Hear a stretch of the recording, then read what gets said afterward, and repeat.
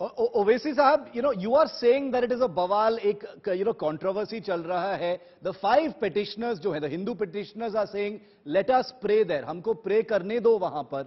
Should they be allowed to pray in your opinion while this entire issue is in court 1991 में जब कानून पास हुआ था, उस वक्त क्या पूजा होती थी? मस्जिद के मेहराब के पीछे, एक साल में एक मरतबा पूजा होती थी, वो सारी दुनिया जानती है। जो 91 के एक्ट में बात कही गई कि नेचर और कैरेक्टर चेंज नहीं होगा आज आप वज़ू खाने को सील करके वहाँ पर सीआरपीएफ और डीएम और, और पुलिस कमिश्नर को बोलकर आप तो उस कानून का उल्लंघन कर रहे हैं जो पार्लियामेंट ने बनाया। आप उस मस्जिद के नेचर और कैरेक्टर को ही चेंज कर दिए पूरा। क्या कर रहे हैं आप? क्या क्या एक लोअर कोर्ट सुप्रीम कोर्ट के खिलाफ जा सकता है मुझे बताइए।